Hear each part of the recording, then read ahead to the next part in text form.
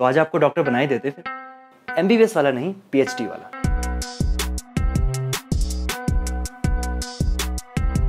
Confusion बस यही होता है जब आप किसी नई चीज़ के लिए अप्लाई कर रहे होते हैं। मुझे भी था, कौन सी यूनिवर्सिटी चूज़ करें, कैसे प्रोफेसर को चूज़ करें कौन कौन से टेस्ट हमें देने पड़ेंगे क्या क्या डॉक्यूमेंट्स लगेंगे, क्या वो स्टेप्स हैं जिनको फॉलो करके हमें एक फुली फंडेड पीएचडी मिल सकती है। आज इस वीडियो में सब बताऊँगा। देखो पीएचडी एप्लीकेशन का प्रोसेस है तो थोड़ा लेंदी बट मैं आज आपको इस वीडियो में सिक्स स्टेप्स में बताऊँगा कि कैसे आप पीएचडी के लिए अप्लाई कर सकते हो। Step number one find the university अब ये यूनिवर्सिटी का पता कहाँ से लगेगा? इसके लिए हम कुछ सोर्सेज का यूज़ करेंगे। सोर्स नंबर वन है QS ranking QS ranking website में आप जाएँगे, अपने सब्जेक्ट के हिसाब से आपको वर्ल्ड रैंकिंग्स देखनी होंगी ऑफ़ डिफरेंट यूनिवर्सिटीज़ जहाँ से कि आप सेलेक्ट कर सकते हो कि कौन सी यूनिवर्सिटी में आपको अप्लाई करना है और कौन से में नहीं करना है।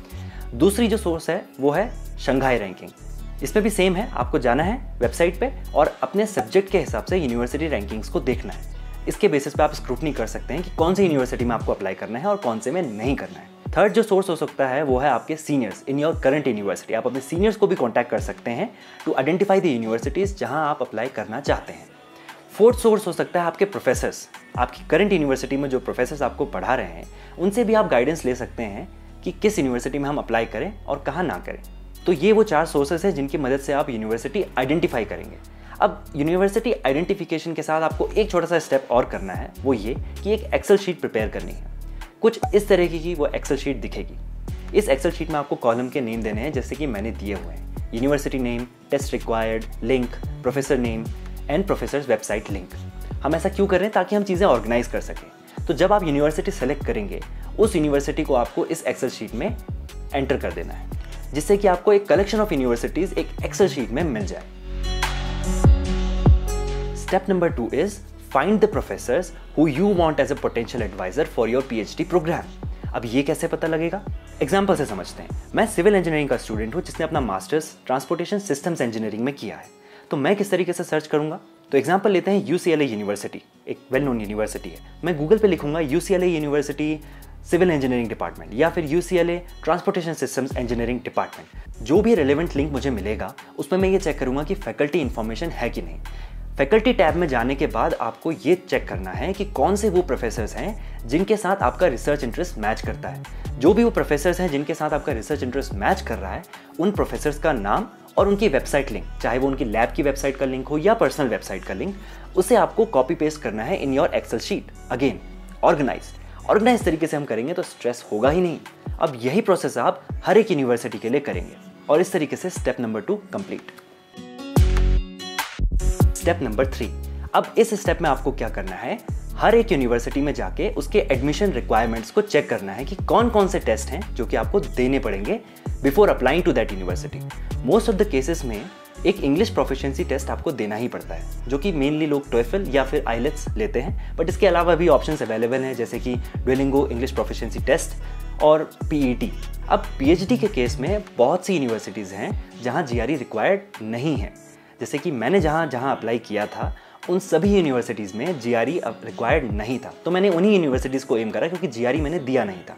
अगर आप मास्टर्स के लिए अप्लाई कर रहे हैं तो GRE is a must for you आपको वो देना ही पड़ेगा। अभी तक हमने स्टेप नंबर थ्री तक कवर कर लिया है। एक चीज़ मैं बताना चाहूँगा, वो ये कि ये जो प्रोसेस है, ये थोड़ा कम्बसम प्रोसेस है, ये लेंदी प्रोसेस है। ये ऐसा नहीं है कि आज शुरू किया, कल ख़त्म कर दिया। पाँच से दस दिन, पंद्रह दिन ट्वेंटी डेज़ भी आपको लग सकते हैं। और मैं कहूँगा, जितना आप टाइम इसमें दे सके, उतना दीजिए। बिकॉज़ ये एक क्रूशल स्टेप है। आप ये नहीं चाहोगे कि आपसे कोई यूनिवर्सिटी मिस हो जाए और वहाँ आपके होने के चांसेस भी हों। स्टेप नंबर फोर अब शुरू होता है मेन काम। स्टेप नंबर फोर में आपको क्या करना है? एक मेल का फॉर्मेट तैयार करना है। मेल का फॉर्मेट अरे भैया, यही तो वो मेल है जो आप प्रोफेसर को करोगे। अब इसका फॉर्मेट क्या है? फॉर्मेट में डिस्क्रिप्शन में डाल दूँगा। तो आप एक प्रोस्पेक्टिव पीएचडी स्टूडेंट हो जो कि प्रोफेसर को अप्रोच कर रहे हो। अब जो काम करना है वो ये। कि हर यूनिवर्सिटी के दो दो प्रोफेसर्स को चूज़ करके आपको इस मेल को, उन प्रोफेसर्स को भेजना है। जब आप सारे प्रोफेसर्स को मेल कर दोगे तो आफ्टर वन वीक और two weeks you will start getting the reply from the professors अब कभी कभी ऐसा भी होता है प्रोफेसर से रिप्लाई आता ही नहीं है। तो ऐसे केस में आप एक फॉलोअप मेल उस प्रोफेसर को भेजोगे।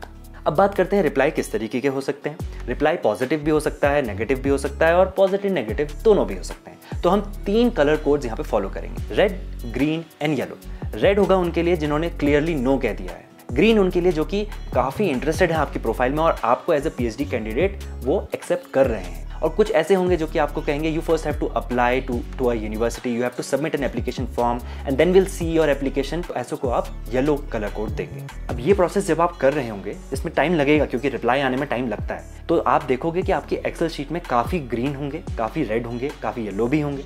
अब इतनी मेहनत, इतना तामझाम हम कर क्यों रहे हैं? पैसा बचाने के लिए। क्योंकि जब आप किसी यूनिवर्सिटी में अप्लाई करोगे तो एप्लीकेशन फॉर्म की एक फ़ीस होती है।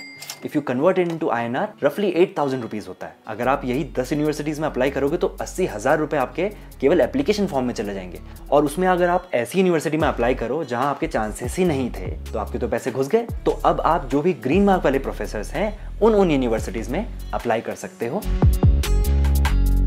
स्टेप फाइव एप्लीकेशन फॉर्म भरने से पहले आपको कुछ डॉक्यूमेंट्स हैं जो कि आपको प्रिपेयर रखने पड़ेंगे। जिनमें से कि सबसे पहला और इंपॉर्टेंट डॉक्यूमेंट है एसओपी स्टेटमेंट ऑफ़ पर्पस जो कि आप जितना जल्दी हो सके बनाना स्टार्ट कर लीजिए। बिकॉज़ एसओपी में आपको बार बार रिव्यू करके चेंजेस करने होते हैं। आपको एसओपी एकदम बढ़िया बनाना होता है।